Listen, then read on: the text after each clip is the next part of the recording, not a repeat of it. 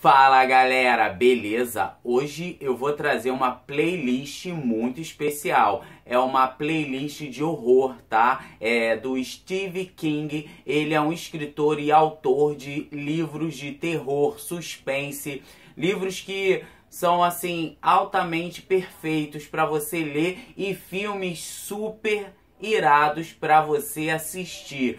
Filmes de terror que aí você vai ficar com medo durante um mês após assistir. Se você tem problemas cardíacos, eu não aconselho você assistir nenhum desses filmes, hein?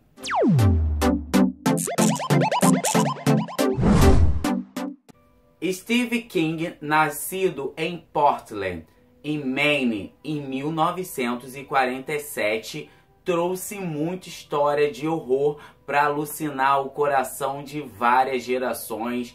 A maioria desses filmes, Mamão com Açúcar para você aí na sua casa, hein? Tá disponível na Netflix e também no YouTube, o que é melhor ainda. É só você terminar de ver aqui esse vídeo e já pesquisar para ver o filme que mais vai agradar você. E vale muito a pena você fazer uma pipoca, já preparar aquele cantinho escuro, chamar a galera, porque se você tem muito medo, eu garanto que você não vai conseguir terminar de assistir nenhum desses filmes. O primeiro filme que vale a pena você conferir demais é O Iluminado de 1980. Um homem, ele é contratado para tomar conta de um hotel no inverno e ele quer escrever um livro, ele quer ser escritor de livro.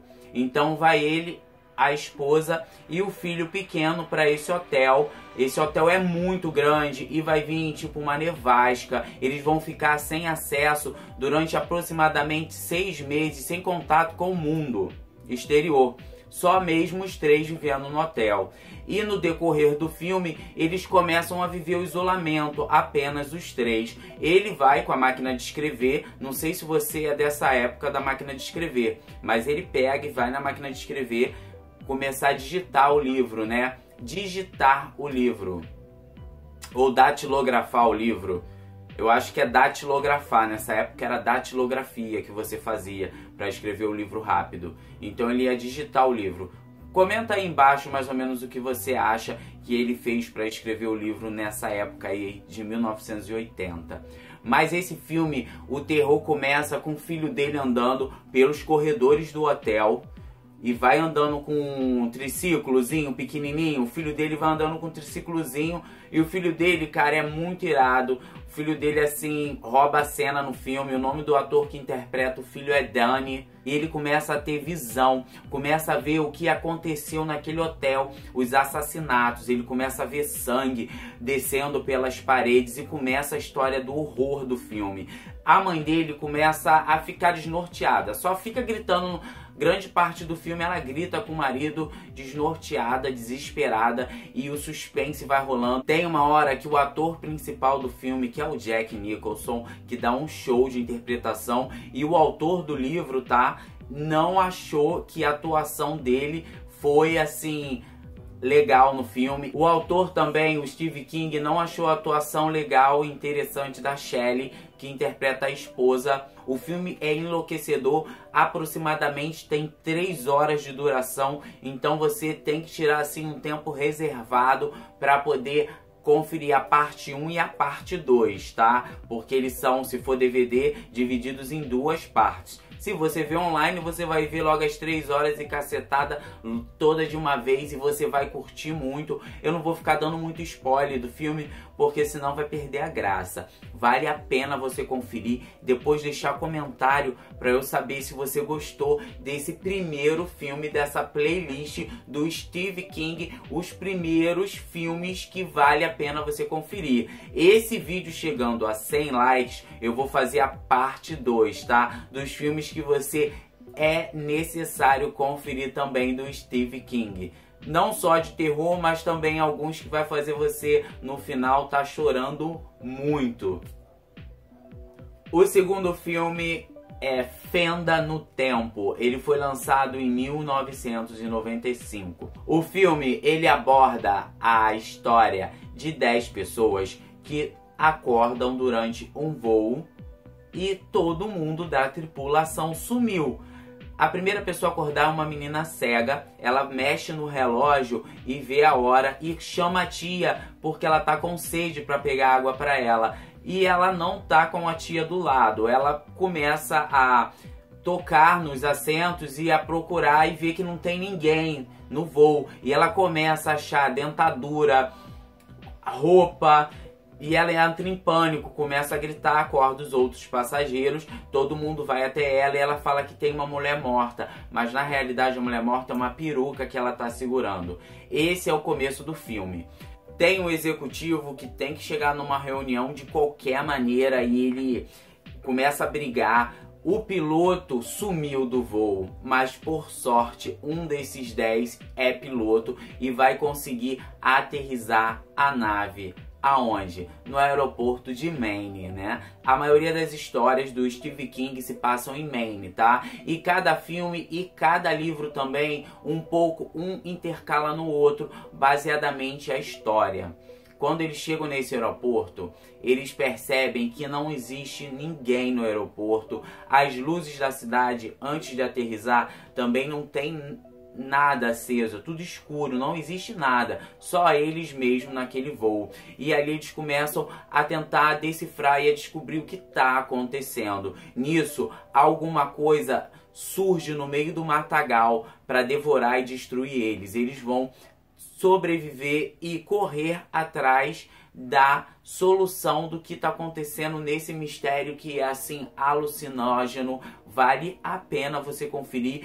Esse filme faz parte do livro que mais vendeu do Steve King, tá? Então é o campeão de vendas dele.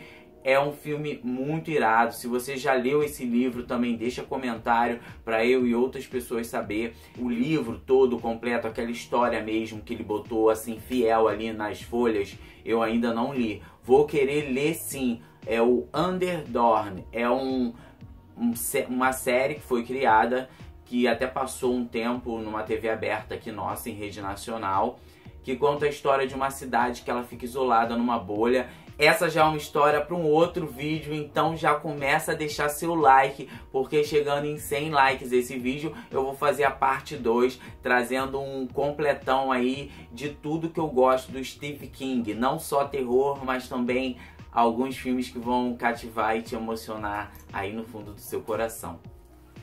Beleza? Foi lançado em 1976 Carrie a Estranha conta a história sobre o bullying na escola. Uma coisa não muito assim assustadora, né? Bastante corriqueira atualmente em 2019 e mais para frente provavelmente também, porque enquanto existir ser humano, vai existir bullying. Não tem como assim a gente tentar enxugar, limpar, porque sempre vai existir um iluminadinho ali que vai tocar na ferida de alguém para querer magoar, ou por inveja, ou por algum problema que está tendo na sua casa e quer de repente destruir a pessoa que está do lado para se sentir superior. Então, isso infelizmente. Mas voltando para o Carrie, a estranha, ela quando vai começar a ficar menstruada e tem uma mãe super assim religiosa que não deixa ela sair, não deixa ela fazer nada ela não sabe o que é menstruação. No colégio, as garotas que são vilãs fingem que vão ajudar ela. Na primeira vez que ela fica menstruada, ela fica nervosa no banheiro. Ela começa a ver o sangue a escorrer e ela não sabe. Elas dizem que vão ajudar a Carrie e na realidade elas defamam ela no colégio, todo mundo fica rindo dela. Só que nisso ela descobre os poderes que ela tem telecinéticos e ela começa a se vingar de todos que fizeram ela sofrer bullying. E vai começar no baile de formatura que tem, esses bailes clássicos de filmezinhos americanos. Vale muito a pena você conferir esse filme, porque o Steve King nem ia lançar o livro, ele jogou fora. Foi a mulher dele que revirou na lixeira, olha que louco, e falou que ele tinha que modificar algumas partes e mandou para editora e a editora logo publicou. E o livro virou um sucesso de venda e filme. Quero e a Estranha tem três versões, então vale a pena você assistir a primeira, tá? Clássica, e depois se desbrava nas outras duas que você vai curtir demais. E vai aterrorizar todo mundo dentro da sua casa, hein? Tá gostando? Deixa seu like agora no vídeo, seu comentário também se você já assistiu algum filme desses ou também se você já leu algum livro, beleza? E se inscreve no canal também, né? Para conferir outras dicas que eu vou trazer aí.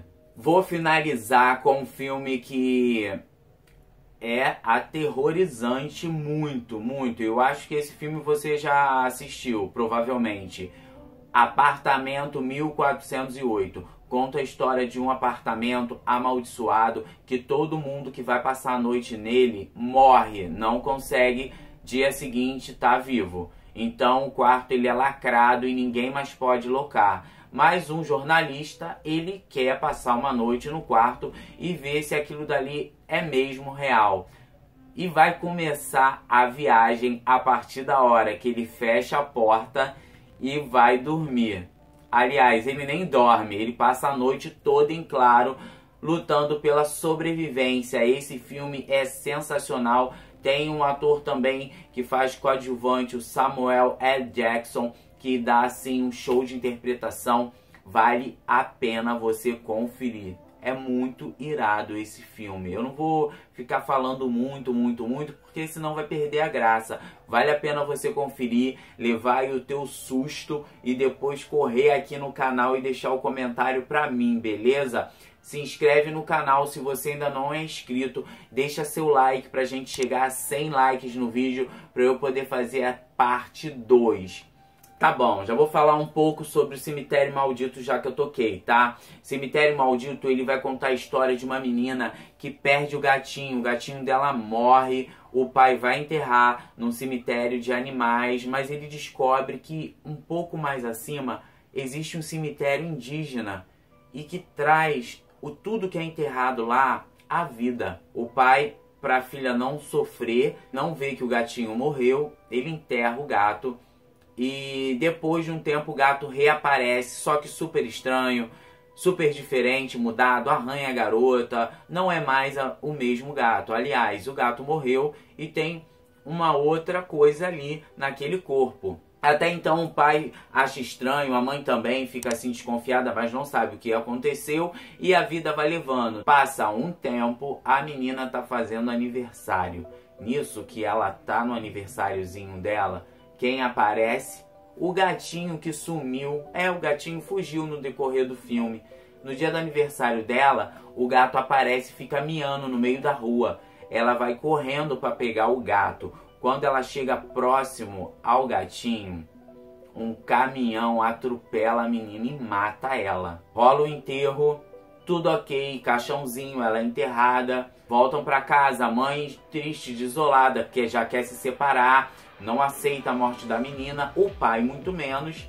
Ele cava, tira a menina do caixão e enterra no cemitério indígena que trouxe o gatinho de volta à vida.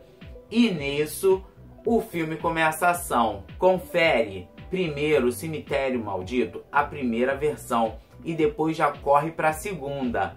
Beleza? Tchau, tchau e até o próximo vídeo. Não se esquece de se inscrever no canal, hein? Até!